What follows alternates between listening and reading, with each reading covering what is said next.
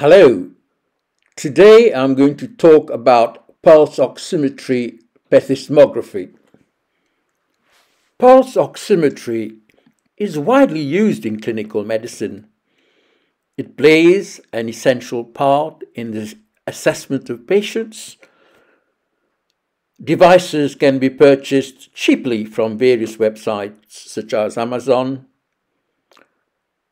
Doctors and other health professionals use the information from pulse oximeters almost exclusively to assess oxygen saturation. There is, in fact, a wealth of information from the waveforms generated by pulse oximeters. This information is often neglected.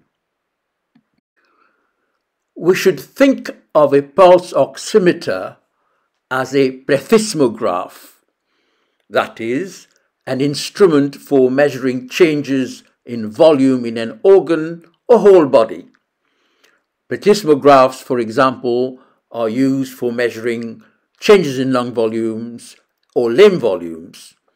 The word derives from the Greek word plethysmos, meaning increasing or enlarging.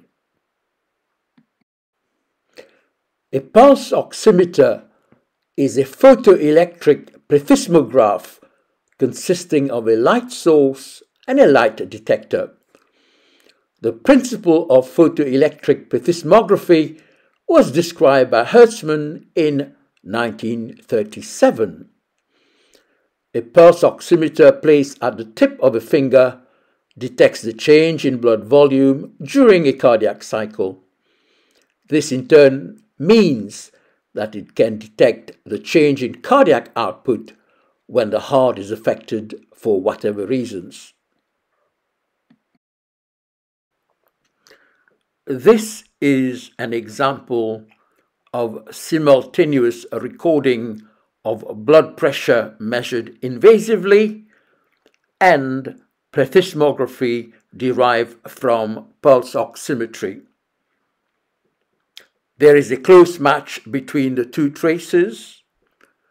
The phasic variations in blood pressure profile is reproduced in the pulse oximetry waveform. In other words, pulse oximetry can detect changes in cardiac output non-invasively. In this example, we again see the close relationship between blood pressure recording and pulse oximetry plethysmography. This patient has a run of ventricular tachycardia. During the episode of ventricular tachycardia, blood pressure falls, and this is also reflected in the reduction in amplitude in the pulse oximetry waveform. Pulse oximetry, therefore, can provide rapid assessment of patients with hemodynamic compromise.